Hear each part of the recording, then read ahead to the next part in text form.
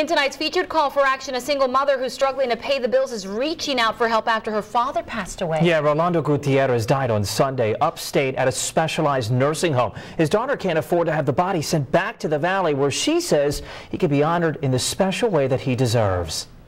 Like most daughters, Virginia Gutierrez is particularly proud of her father. My dad was my world. He was he meant so much to me. Rolando Gutierrez served in the Vietnam War with the Navy. He loved serving his country. He served his country with all his heart. He fought for his country. The Purple Heart recipient continued his military career with the National Guard for two decades. Virginia says her father, a Mission High graduate, dedicated his life to this country.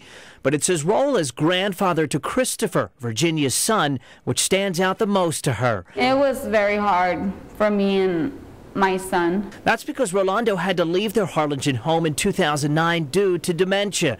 The debilitating disease took over his mind and forced him to seek help upstate at a specialized nursing home. Virginia remembers what she missed the most. Not spending the holidays with him anymore the first Thanksgiving, it was difficult because he was the one that would clean out the turkey for me. This past weekend, Virginia received a call that her dad had passed away in Knox City due to complications from dementia. He was 65 years old. I feel empty. I feel alone. And she feels helpless because Virginia admits she doesn't have the money to bring her father's body to the Rio Grande Valley for a proper military funeral. I live on a tight budget. I just want to have the proper funeral for my dad, the proper goodbyes. The good times are now overshadowed by financial stress. Virginia can't control her tears for a father who she says deserves honored eternal rest.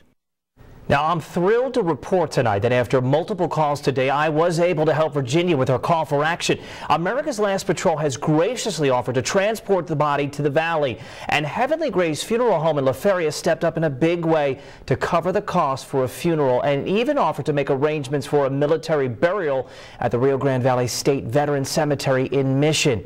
I'll keep you posted. Meanwhile, tonight, lots of people singing the praises of those who stepped forward to help on my Facebook page, where I first posted a preview of my story tonight. Ruben Cantu says good for her and her father who served this great country that we all love. May he rest in peace.